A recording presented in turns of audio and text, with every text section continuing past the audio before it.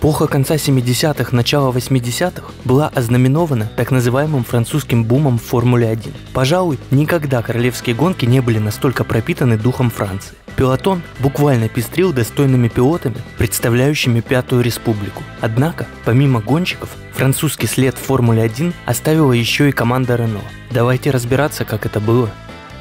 А перед началом в связи со сложившейся ситуацией с замедлением YouTube, прошу всех подписаться на телеграм-канал и страницу ВКонтакте, где будут дублироваться все видео с YouTube, а также на канал на Твиче и в ВК Play Life, где будут параллельно с YouTube проходить стримы. Теперь, когда вы подписались на все соцсети, можно начинать. Уже на стадии зарождения проект Renault привлекал к себе достаточно много внимания. Команда была детищем одного из крупнейших концернов Франции, что явно намекало на большие возможности французского коллектива. К тому же, концепция, выбранная руководством Рено, была крайне интересна. В своем участии в Формуле 1 боссы Рено видели особое предназначение. Французский концерн стремился не просто побеждать, а побеждать исключительно ресурсами своей страны. Согласно плану руководства, все в команде должно было быть французским, от шин до титульного спонсора. Стремление настолько патриотичное, что где-то на заднем фоне должна заиграть Марсельеза. Своим появлением в Формуле 1 Рено во многом обязан менеджеру по рекламе компании Эльф Франсуа Гите. Его смело можно назвать серым кардиналом французского автоспорта. Именно благодаря Гите Эльф приобщился к миру гонок. Сначала посредством сотрудничества с Матрой, а потом и с Тировым. В начале 70-х годов генеральный директор Рено Пьер Дрейфус был скептически настроен к участию в гонках. И если кто-то и мог его переубедить, то это был Гите – Финансовая поддержка являлась главным аргументом Франсуа. Эльф должен был стать титульным спонсором гоночной программы Рено. Так, Гите заложил основы будущему появлению Рено в Формуле 1.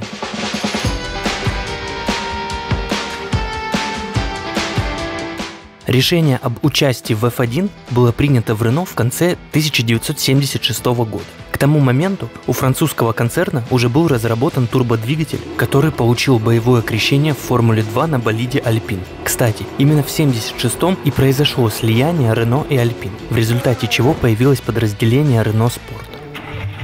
К середине сезона 1977 года французам удалось доработать двигатель для участия в Формуле 1, построенный Renault болид RS01 буквально являлся воплощением Франции в F1. Помимо Renault, в этой истории были задействованы и другие французские компании. Так, например, шины должен был предоставить Мишлен, Легендарный бренд начал свой путь в Формуле 1 именно благодаря Renault, а поставки топлива взял на себя титульный спонсор команды Эльф. Гонщик также без вариантов должен был представлять Францию. Благо боссом Рено было из кого выбирать. Первым пилотом в истории команды стал Жан-Пьер Жабуй.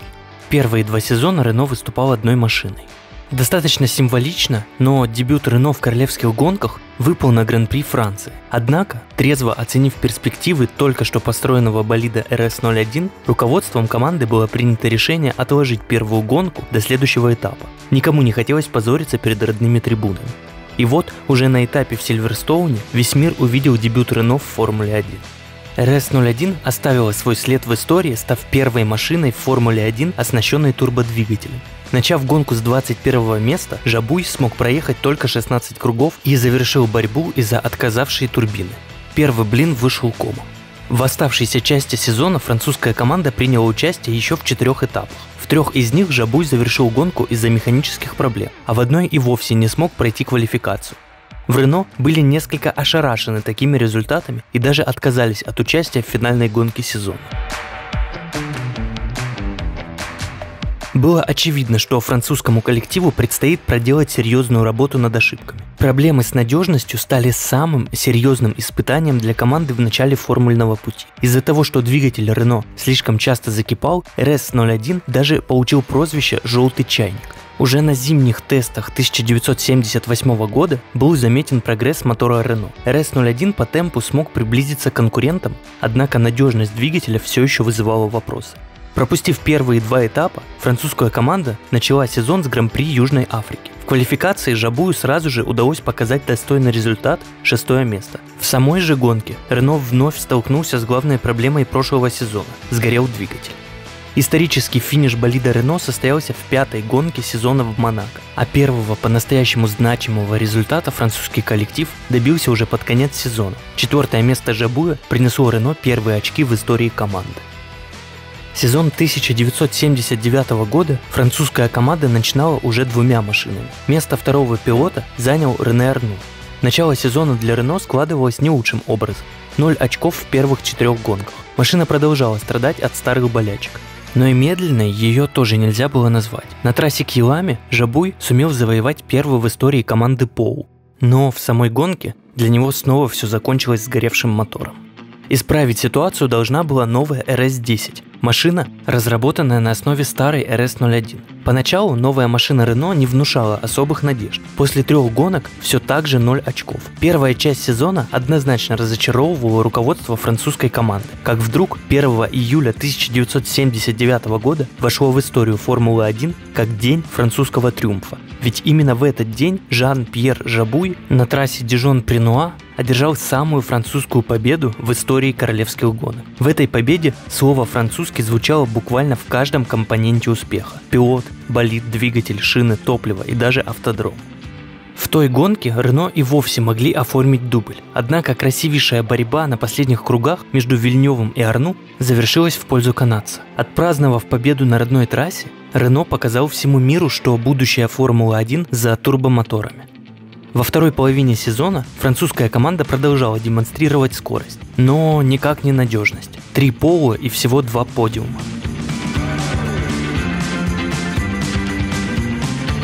Сезону 80-го года конструкторы Renault построили новый болид Рье 20 который показал приличный темп уже с первых гонок. Этапы в Бразилии и Южной Африке во всей красе продемонстрировали возможности новинки. Две победы и два пола. Причем, что интересно, каждый раз с первой позиции стартовал Жабуй, а побеждал Арну. Под занавес сезона Жабуй завоюет еще одну победу. Сезон 80-го Рено завершит на четвертом месте в Кубке конструкторов, тем самым постепенно утверждаясь в статусе команды претендента на серьезные места.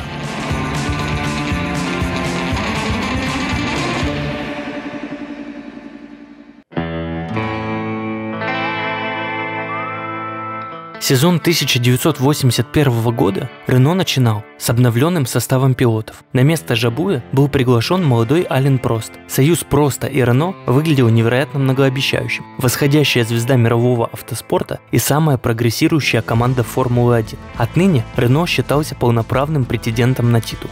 К тому же сезон 81 года был ознаменован тем, что турбодвигатели стали появляться не только на болидах Рено. Остальные команды пилотона, осознавая неминуемость турбоэры, постепенно начинали к ней готовиться. Первой командой после Рено, которая оснастила свой болид турбомотором, стала Ferrari.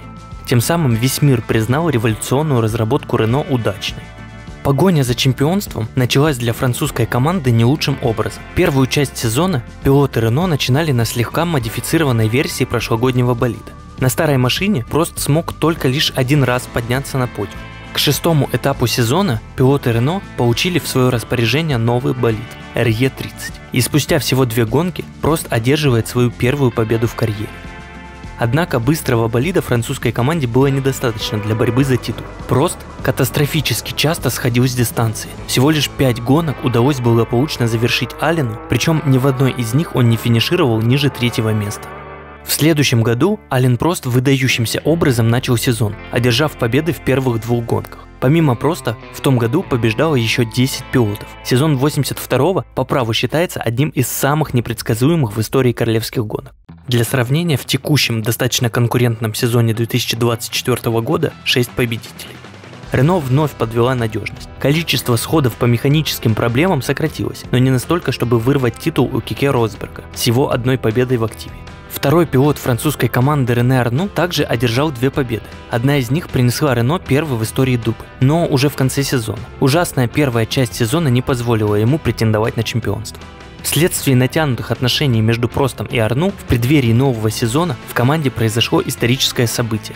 В Рено был приглашен первый нефранцузский пилот. В роли легионера выступал американец Эдди Чивер.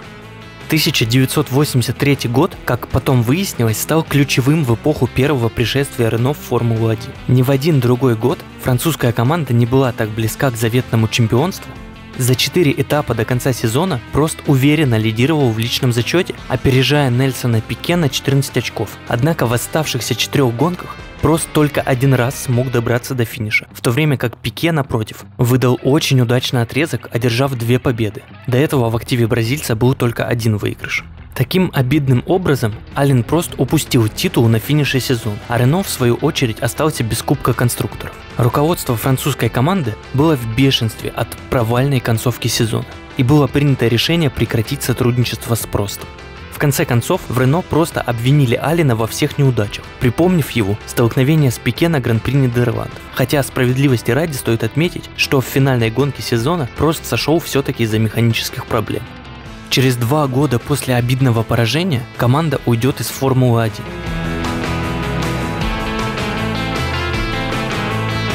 В преддверии следующего сезона Рено полностью меняет состав пилотов. На места ушедших Просто и Чивера приходят Уорик и Тамбе.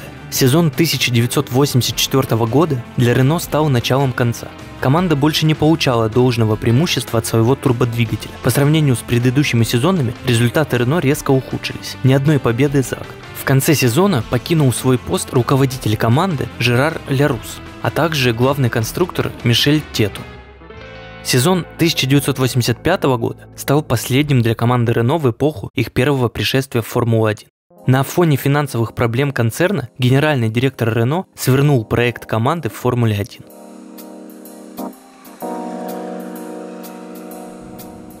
Пройдет 20 лет, прежде чем Рено снова отпразднует триумф на домашней трассе. Только на сей раз к победе приведет команду не француз, а испанец. Ему же будет суждено привести Рено к такому долгожданному титулу. На этом выпуск о начале пути заводской команды Рено в Формуле 1 подходит к концу. Спасибо за просмотр. Предлагайте в комментариях интересные темы для новых выпусков. И подписывайтесь на все резервные соцсети, чтобы не пропустить новые видео.